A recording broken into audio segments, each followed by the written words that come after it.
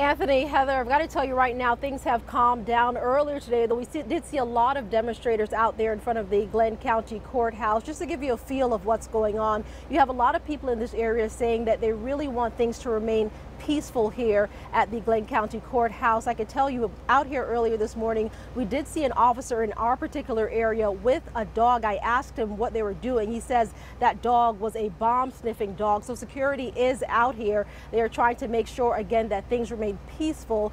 We actually caught up with a group of clergymen earlier today praying out there for people and singing as well. Take a listen. We're coming together today to sort of set a tone of peace. We want to set that tone that it carries out throughout the week, that everything that happens here um, is peaceful as we seek justice. Many of us are hopeful. Um, the process has been going in a direction that I think the community has wanted and been asking for. Uh, I think there was responsiveness when the community began to gather last year.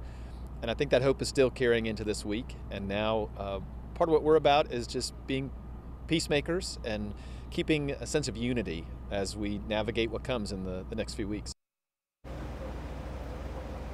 Now, the group tells me they will be out here throughout the duration of this trial. It's about 50 or so uh, clergymen all throughout Glynn County, pretty much unifying to try to make sure that things remain peaceful here. They're doing their part in doing so. Now, earlier today, we did see Wanda Cooper Jones as well as Marcus Arbery. That is Ahmaud Arbery's mother and father. Here is what Wanda Cooper Jones had to say about all of this on day one of jury selection. Take a listen. Ahmaud's purpose was to bring change. I mean, since we lost Ahmaud, we've had some changes here in the state of Georgia. And I often think that I lost Ahmaud, but it's, it's a bittersweet moment because we lost him, but we also brought, brought change to, to the state of Georgia. Her son, her 25 year old son, he lost his life, but he has brought about change, really not just in the state of Georgia, but far beyond.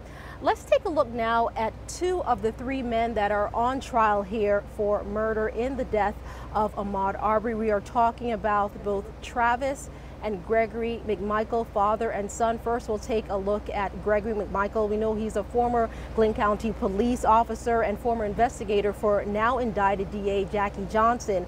Now, Gregory McMichael was stripped of his law enforcement certification for failing to complete use of force training. McMichael says that his son, quote, had no choice but to shoot Arbery. Now let's take a look at Travis McMichael, what we know about him. He is a former Coast Guard petty officer, third class. Now, he shot Arbery, we're told, three times using a shotgun. Police say he had previously reported his pistol stolen from his unlocked vehicle, and he suspected that Arbery was involved. We want to check in now with Kaylee Tracy. She was actually inside of the courthouse this morning when things really got underway. She had a chance to listen in as the jury selection process began. Let's check in with her now over there right in front of the Glynn County Courthouse. Kaylee.